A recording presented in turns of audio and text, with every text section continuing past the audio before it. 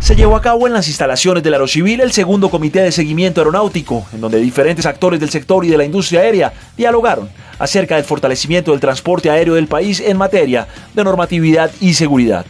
Se realizó la segunda reunión de seguimiento aeronáutico con la presencia del señor ministro de Transporte, los representantes de las aerolíneas, el Aeropuerto Internacional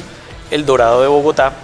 en la que logramos concertar varios temas importantes para el sector aéreo. Por un lado tenemos la necesidad de establecer mesas de trabajo para establecer si vamos a tener restricciones para el transporte de líquidos, geles y aerosoles a nivel región, diferente, países diferentes a Estados Unidos. Por otro lado tenemos la importancia de trabajar en torno a generar campañas hacia el buen comportamiento de los pasajeros, no tener pasajeros disruptivos en nuestros aeropuertos y esa ha sido una labor importante en la que trabajamos aerolíneas, trabaja el gobierno nacional y trabaja el sector aéreo como un todo.